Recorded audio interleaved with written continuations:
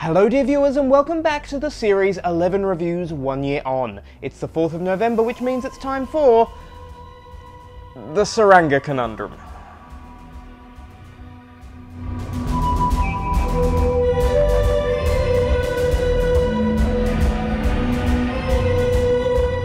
Looking back on last year, the Tsuranga Conundrum was my least favourite episode. I mentioned that last Friday. I think my exact words were the worst episode of last series. So there you have it. Thanks, me. Look, to be honest with you, I put off watching this episode this week. And I found myself enjoying it in the end. Look, I think the opening is a bit strange. So we open on that junk planet with the Doctor and her friends searching for these parts she needs. I don't mind that opening, but something that Doctor Who does from time to time is it has the Doctor and her friends refer to other adventures they've had, which sound more interesting than the ones we're getting. It goes right back to Christopher Eccleston in Boomtown with Rose talking about um, Justicia and the glass pyramid of.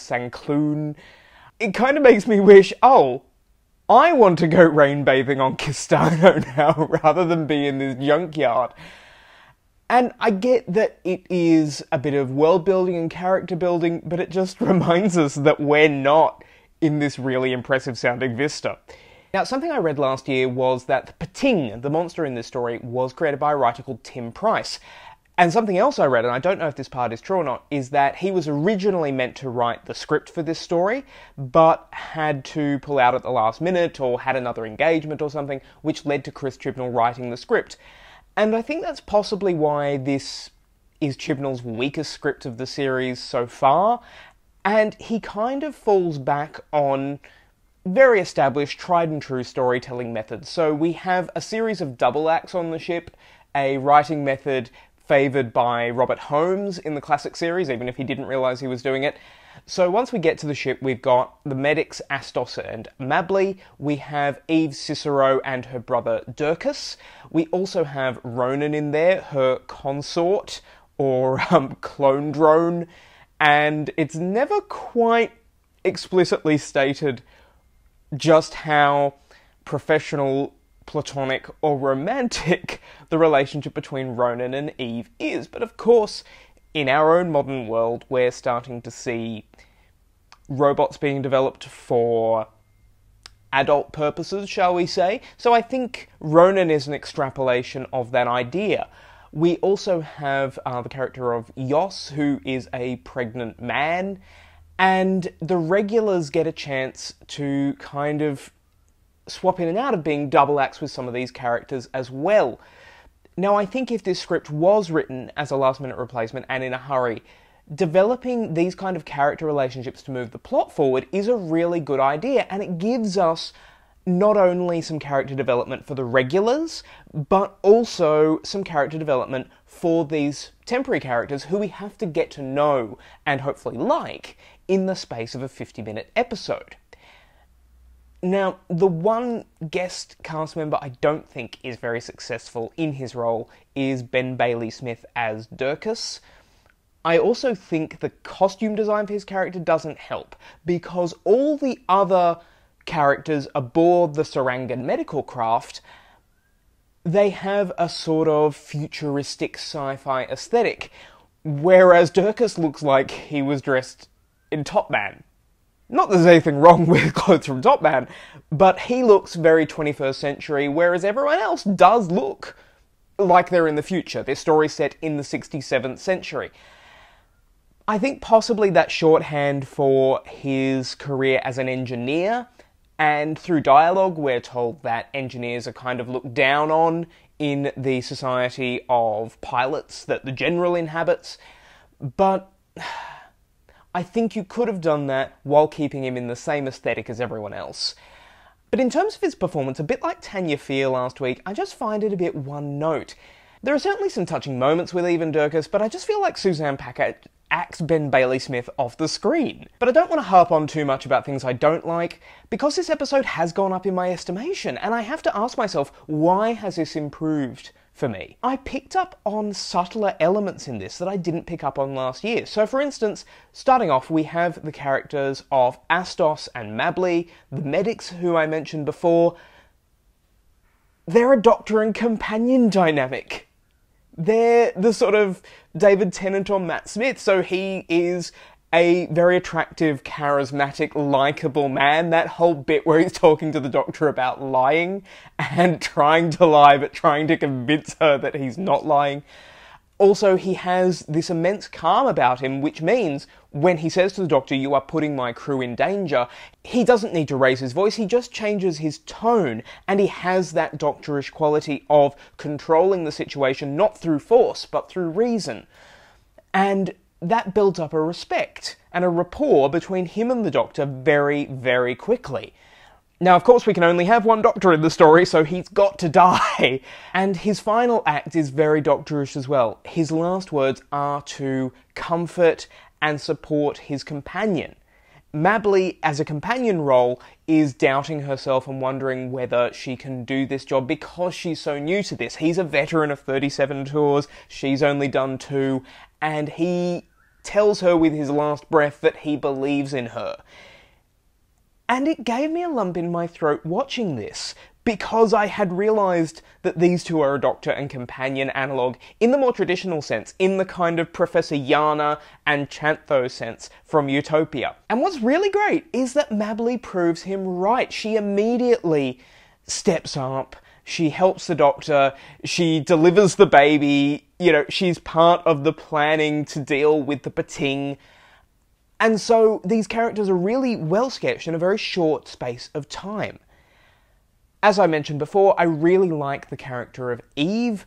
To me, she is a believable general and also has that pathos of she's got Pilot's heart, but she can't tell anyone she has Pilot's heart because that will discredit the organization she believes in really strongly. And finally, the last character to explore is Yoss, and he is super likable, quite charming. He's a young man who accidentally got pregnant on holiday and initially doesn't want to keep his baby, you know, because he feels he's not ready to raise a child. He feels that these are dark and turbulent times. A few characters refer to these as being dark times. And so his through line is whether he will keep the baby or not. And as we discover at the end of the episode, he decides to give being a father a go. And initially last year, I thought this episode wasn't about anything. And not every Doctor Who story needs to have a central message, but here's the thing I feel you either need to have a message to the story or it needs to be a spectacle or an action piece. Some stories do both, but it's a problem when a story does neither, and I thought last year this story does neither of these things.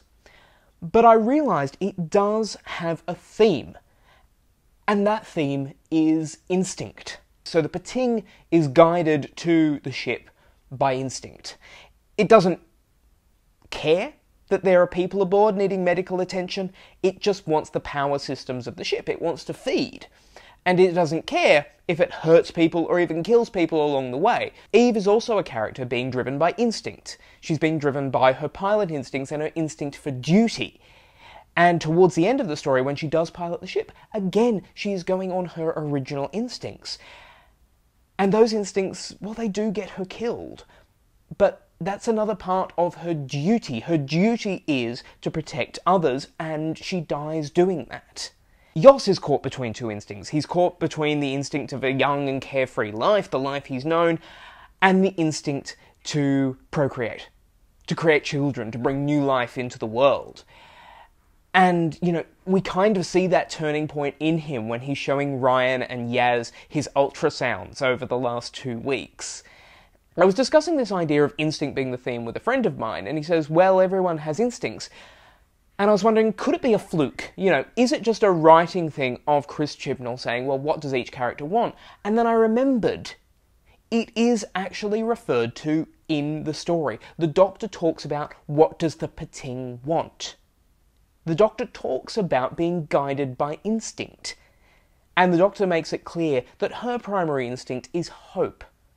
And that is what she spreads to everyone else in order to get the P'Ting off the ship, in order to get the ship safely into port, in order even for Yoss to deliver his baby. Really, when Ryan is talking about how Yoss can do this and how he's creating a life, and that in itself is spectacular, Ryan is running on instinct because he and Graham have no idea what they're doing, no matter how many episodes of Call the Midwife Graham has seen. The other thing that surprised me about this episode is that I've yet to see Yaz being massively underused. In this story, you know, she gets to defend the ship from the P'Ting. I did think that scene was a little weird because we're told at the beginning of that bit defending the antimatter engine that Ronan can actually handle the P'Ting, but Yaz is the one who punts it down the corridor. And when the Doctor enacts her final plan to get rid of the P'Ting, it's Yaz who's by her side and gets a really good bit of banter with the Doctor, and there's some great comedy tension in that scene. Yaz is still getting a fair share of the action, and I'm starting to wonder is it the back end of the season that she's not? Because I seem to recall in Kerblam and The Witchfinders, she gets a fair bit to do in those as well. So maybe there's some other reason I feel like Yaz is underused. I have a theory as to why I think I and others might feel that, but I'm going to come back to that at the end of the season to see if it holds up. In terms of design, I've already mentioned Durkas's costume, which I don't think really fits in with the aesthetic of everything else, but everything else the ship design, the user interface for the machines I really, really like it. I like the clean lines. I like that it feels like we've taken the idea of what a hospital is now and moved it into the 67th century. I'm also getting a little bit of London Underground corridors from there, which sells the idea at the beginning that the Doctor thinks they're in a building. Even with that twist, I don't know what it was, but I kind of assumed they were on a spaceship. Um, when I was watching it the first time, it's like, her, Doctor, you're on a spaceship. Something that I think, though, is uneven in this story is the direction. There are some very good moments of direction, but there are three really that stand out for me as kind of putting the brake on. One is the reveal of the P'Ting. So the P'Ting is a comedy monster. It's a Graske, it's a space pig. But the problem is, I don't think they knew what the design would look like while they were shooting the live action actors because the actors do a perfectly good job of reacting to a monster, but I feel like they're not reacting to the monster we're reacting to. I feel like we laugh at the P'Ting a bit, whereas none of the actors kind of look at it like it is the comedy, funny design that it is. That's a peril of working with CG. Things don't always come out looking how you expect them. There's also the scene where Ryan discusses his mother's death. Now, once again, Tosin Cole gives an excellent performance in this. I actually cried watching that scene this time around. But the direction, though, is what I have a problem with. Because Ryan and Yaz have been sent to get everyone together in the drawing room, as the Doctor Guide puts it. But they then stop to have this conversation. And there's no motivation for them stopping. Now, Ryan does start moving again when the conversation becomes uncomfortable for him. But I feel like this is a disaster situation. It ties in with the other moment of direction that I don't think works, which is the Doctor's speech about the antimatter drive, which I think is a brilliant speech, and Jodie performs it really well. And it's giving us an educational science moment that still fits the character. But I just feel like the Doctor would be moving around and working while she's having this discussion, like she does in The Woman Who Fell to Earth when she's about to make her sonic screwdriver. She's talking to Graham and Grace and collecting things as she goes. And I think that would have improved this scene. That being said, there are other really great moments, such as Astos's death. The birth sequence is really well directed. The action sequence with Yaz and Ronan in the engine room. There are so many good bits of direction. There's just these three bits that kind of take you out of it, and in two cases, bring the urgency to a halt.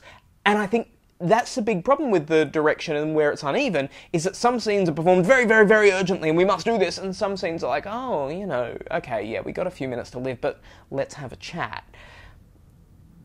Jennifer Perrott, the director, will, from my memory, do much better work in Kerblam coming up, so I really look forward to that. And look, this episode was a first outing, so hopefully things will improve from here. In the end, I give this episode 7 out of 10. Uh, last year, I gave it a 5, so it's gone up quite a bit in my estimation.